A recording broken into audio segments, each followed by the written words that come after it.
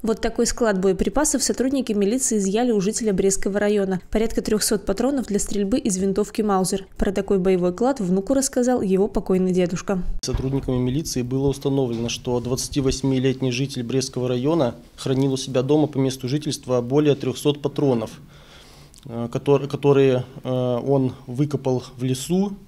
Э, о месте нахождения данных патронов ему ранее сообщил его покойный дед. В ходе прибытия следственно-оперативной группы на место происшествия данные патроны были изъяты и переданы для проведения судебной баллистической экспертизы в Брестский межрайонный отдел.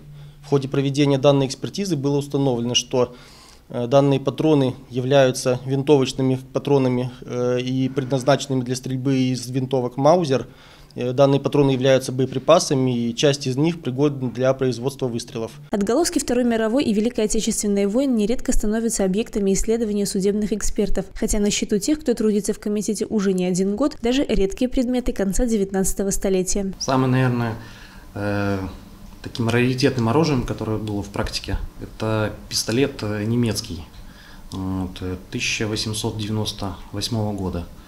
Вот. Ну, правда, для стрельбы он был, был непригоден вот, ну, в силу своих возрастных и, так скажем, э, место хранения его он был ржавый, но даже такие экземпляры попадаются.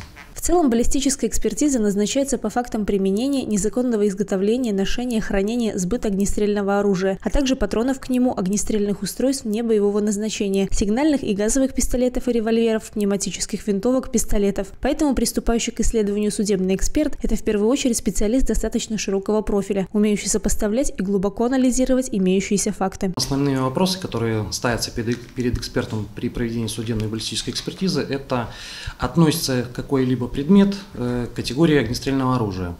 Вот. Каким способом изготовлено данное оружие, заводским или самодельным способом, э, пригодно ли оно для стрельбы, э, каков его калибр.